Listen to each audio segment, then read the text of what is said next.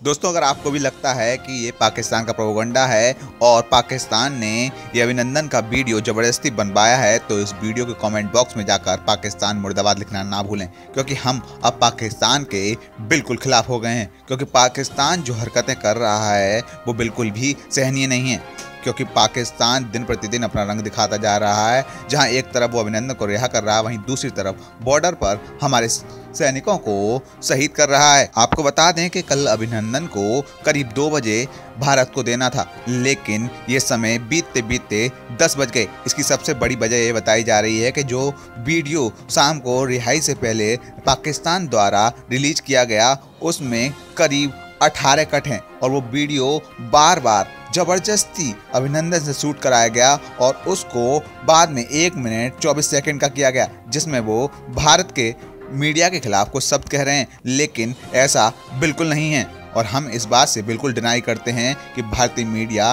पाकिस्तान से खराब है या पाकिस्तान भारत से बेहतर है।